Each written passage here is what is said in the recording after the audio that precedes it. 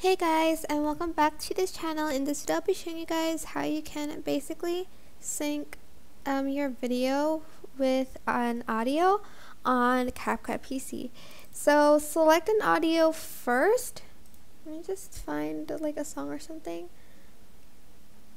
I'm just going to add this to the track and I'm going to select auto beats and you can either choose beat 1 or beats 2. I am going to use beats 2 for this one and then you can just like sync your video to the audio by like um, cropping or adding like um, speed ramps.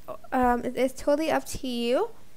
Like if you have a lot of videos you can definitely sync it to the um, audio. So we're just going to split the videos first something like that and then to the next one and then to the next one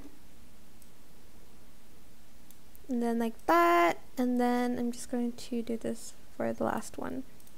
And then to kind of adjust it to the beats just go to speed and make it slower so that it will match the beat. So the beat is right here.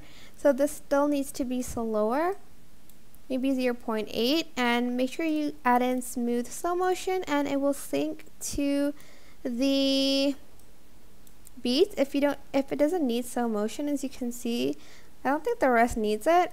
You're just going to put it back there but that is basically it really. I hope this tutorial was helpful for you guys.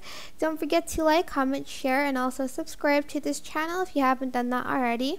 If you have any questions, just leave it in the comment section down below and I'll try my best to answer them all for you guys. And if you found this video helpful, please click the thanks button above the description box down below. Thank you so much for watching. Bye!